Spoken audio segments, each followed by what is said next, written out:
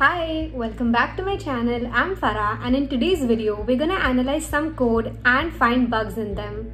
I have my laptop right here and we're gonna do a line by line review of code snippets from this GitHub repository by YesWeHack. Before we get into this video, I also wanna tell you that this video is sponsored by YesWeHack. YesWeHack is a bug bounty platform and they have programs that are mainly based out of Europe, but you don't need to be in Europe, you can be anywhere and hack on YesWeHack.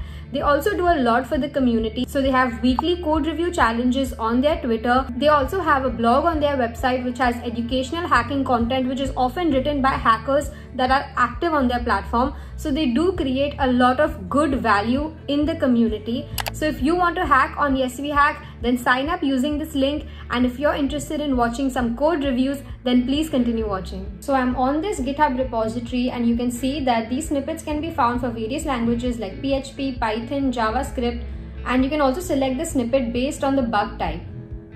For this video, we are going to first select this snippet which should be vulnerable to an IDOR. As you can see, this snippet is written in PHP I have also made a video on how I learned PHP code reviews. So if you haven't watched that video, then I'm going to link it here so you can check it out. If you watch that, you'll understand what were the resources that I used when I just started learning code reviews. Of course, I already had a background a little bit in web application testing, which helped me, but I did not know anything about code reviews. But for now, let's go ahead and start reading this code. So first we have a function called view which takes in three parameters, ses which stands for session I'm guessing, then we have user and we have ID. Then we have an if statement here which says this comment says that this if statement is responsible to return the content only if the user is an administrator. So it's basically doing access control here. So let's see how that works. The statement says that if the value sesh is not this and if the user is not Tom, then you will tell the user that they are not authorized to view this content. We still haven't seen where these values are taken from or how they are assigned so maybe we can figure out how to change one of these later because if we look at this carefully we can see that it's checking for both these values together and not individually. For example, if an attacker were to change the session value to this or if the user value was changed to Tom, then this if statement won't do any access control because it uses and and as an operator instead of or. Or would make this condition work even if one of these values didn't match for the values of the admin.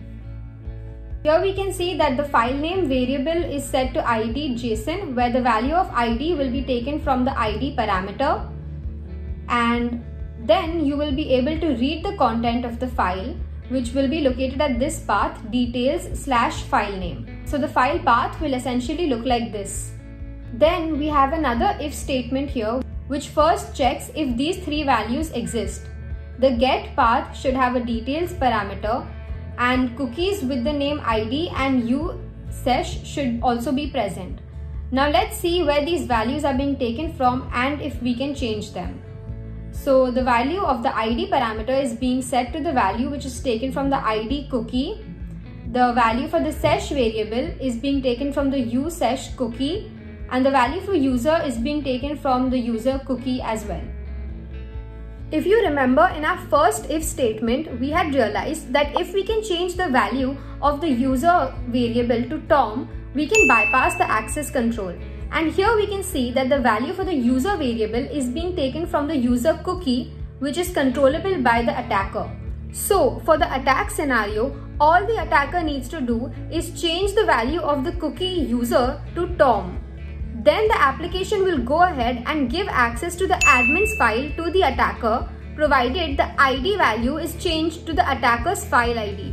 But since the file ID is incremental, it will be easy to enumerate. So this is how an attacker can find an IDOR here when they change the cookie value to Tom. So that's it for this video. If you liked watching this then let me know and I can make more videos about these code snippets. And thank you so much for watching. Bye.